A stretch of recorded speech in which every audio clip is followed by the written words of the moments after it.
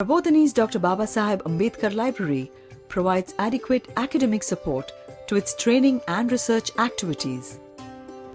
Besides being an integral part of Prabodhini's Knowledge Excellence Center at Uttan in Bhayandar, this library with a rich collection of books and monographs also serves local population as a public library.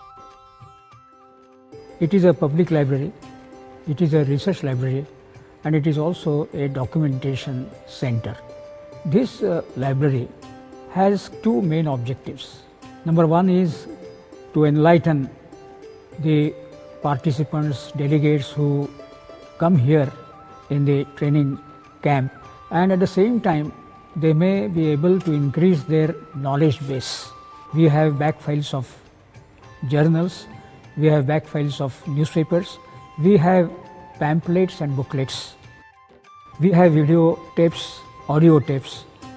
These uh, new media material adds to the value of the collection. Vilas Rao Salunke Chair for Water Resources adds a new dimension to the institutional mission of Prabodhini. Established as a tribute to the memories of Vilas Rao Salunke, a reformer and activist who worked relentlessly through action research and experiments on water distribution and traditional crop pattern related issue, this chair has been working for setting up a resource center and a separate training unit. In the year 2000, Prabodhini established a Center for Human Rights Studies and Awareness. Through this initiative, Prabodhini undertakes training in human rights issues and encourages research and advocacy initiatives. In 2002, with the launch of RMP International, Prabodhini acquired yet another dimension. This international division of Prabodhini works for the larger goals of universal brotherhood through promotion of greater international understanding. Exchange programs, goodwill missions to the countries in strife, and leadership training through civilizational understanding are some of the major activities of RMP International. Its Universal Brotherhood program opens up opportunities for the future leaders of the world to understand different civilizations with an open mind, shed prejudices and stereotype ideas, and experience the underlying element of unity in the apparent and obvious diversity.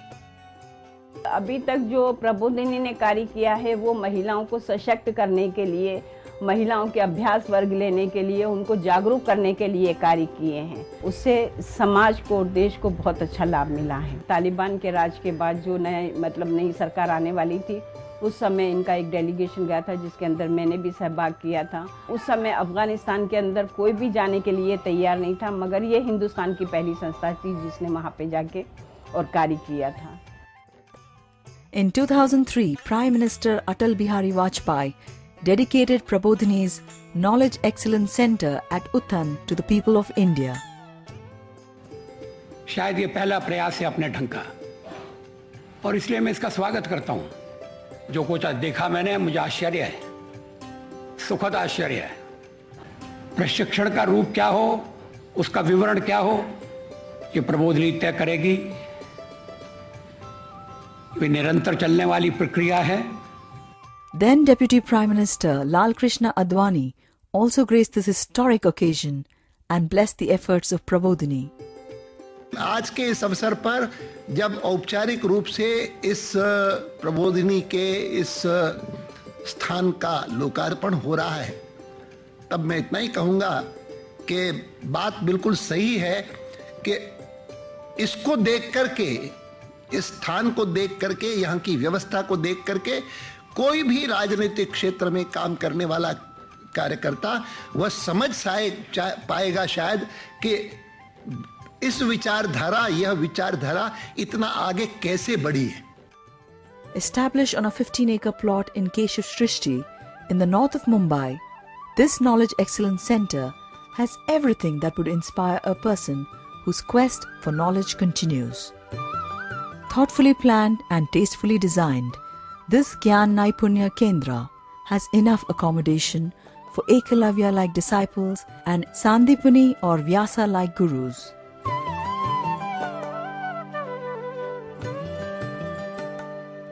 From a library and amphitheatre to gymnasium and recreation hall, this center has everything required for acquiring knowledge, honing skills, and above all, developing a Jivan Drishti, an approach for human life.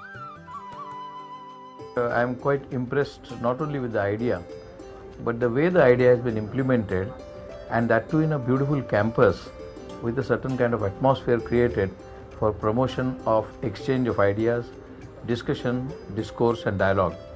I think that is the essence of democracy. My hostility disappeared when I actually saw, experienced, and participated. And I think learn to learn is a concept which Prabodhini can promote. I am absolutely convinced they can do it. Today, Prabodhini's Knowledge Excellence Center has become a popular destination for corporates. Several leading corporate houses in and around Mumbai prefer Prabodhini's facility since they perceive it as a temple of learning. The infrastructure out there, the air conditioning, the acoustics uh, is superb, the world class I would say. Uh, and overall ambience is more like a, I would say a learning center or the knowledge center and more like a temple.